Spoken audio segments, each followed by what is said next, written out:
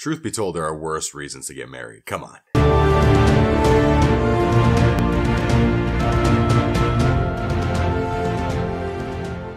Hey guys, it's G from the EF Word here to review Love Per Square Foot. Now, simple premise, two people that can't get loans to buy their dream place decide that, hey, if we get married, we could buy this like a married couple, everything joined 50-50, get our dream place, and then live our lives. The thing is, it's not really easy to manipulate the system, and there's a little bit more to it that they eventually end up finding out.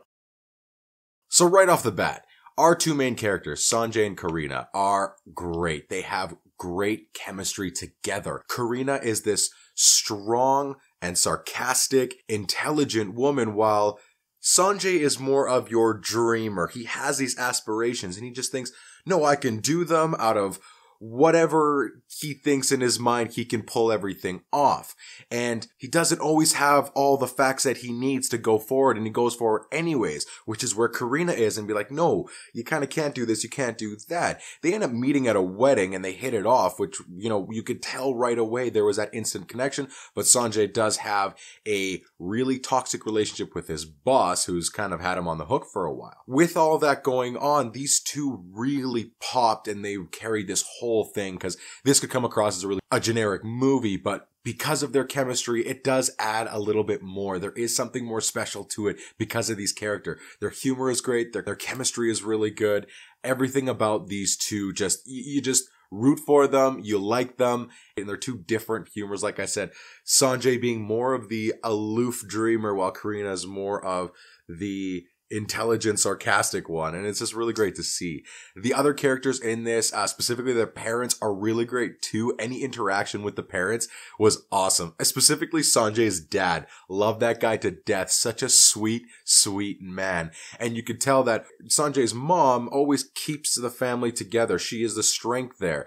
And it's just really great seeing those relationships. And not only that, but the parents add a grounded element to both of these dreamers because they are dreaming of getting this place together so that they can move on. This is what it means to be an adult is getting your own place. And then that's how you can have a successful life. It's, it's almost like a tale of labeling what success and what growing up actually is. But the great part about it is having the parents there that do provide them with some insight as to, yes, you can have these things, but we're also here. We are your family we want you to succeed, but you know, don't disregard us so quickly. And I think that was an underlining theme that was going on. The setting in Mumbai is gorgeous. The colors are beautiful. The city is alive. Everywhere they shot, there was, there was a lot of things going on. You know, these are just people living out their lives and there's a certain kind of music in the air from the hustle and bustle is really captured in this really well. And as I mentioned the humor before, it's not just our main characters, it's also the people around them. When they wanted to get the papers drafted up, like their whole marriage document or their marriage license and everything,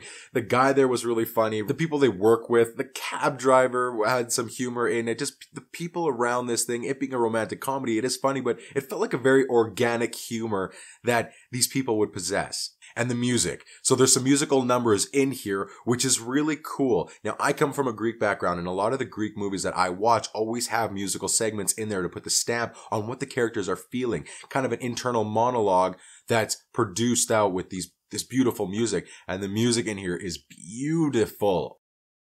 I will say a couple of times the comedy doesn't land always. They did use some fart humor early on which I'm so glad they did it then and they dropped it because I don't know if I would have been able to handle them going with that. It's only once or twice. And when it happened, I was just like, eh, whatever. It's not my type of humor. It does tend to add conflict to extend the runtime. It is a long movie. There are some parts that are added in here that I felt unnecessary. Now, you may not think that, but for me, it was like they could have not used this because ultimately it didn't go anywhere. And it was just 20 minutes out of the movie that they didn't need and they could have shortened it up just a tad. The last thing I'll say on the negatives is there is a weird thing going on here where they are speaking their native language. However, they do cut in English terms and I don't know if this is common. I was expecting just you know, they're in Mumbai. They're going to talk their language the entire time. But some full sentences or some ending points in a paragraph or something were said with the, the, the, the actors themselves say it in English and it kind of took me out. Let me know if I'm wrong on the style or if this is common because again, I don't know and forgive me for that, please. But it just felt it, it, it just took me out of it. I was hoping that it was just going to run the entire time with just their native language the entire time because they're in Mumbai. There's no need for them to talk English with themselves or other people. But again, this could be just plain ignorance on my part. Let me know. It was just one of those things that I noticed that again took me out a little bit and you know, you kind of lose a little of those nuances and the, and the beautiful notes that each individual language has. This is a pretty cute, pretty charming movie. A lot of it is banking on our two main characters because if they didn't have as good a chemistry as they showed on screen, I do not think this would be as good. It would be another run of the mill romantic comedy with an interesting concept of so the two main characters carried the whole thing but I, I, did like a lot of what this had to offer it is cute it is charming i think it's definitely worth checking out and it's definitely worth your time. That's my quick review of Love per Square Foot. Let me know what you think in the comments below. I'd love to hear your thoughts. Make sure you're following Entertain Facts on Instagram. You can get in our live show that's done every week, every Friday at around 8 to 8.30, depending when we all get off work. You can find me on Twitter at the F words G. You can email us at the F word podcast at gmail.com. And until next time, I'm G and I am out.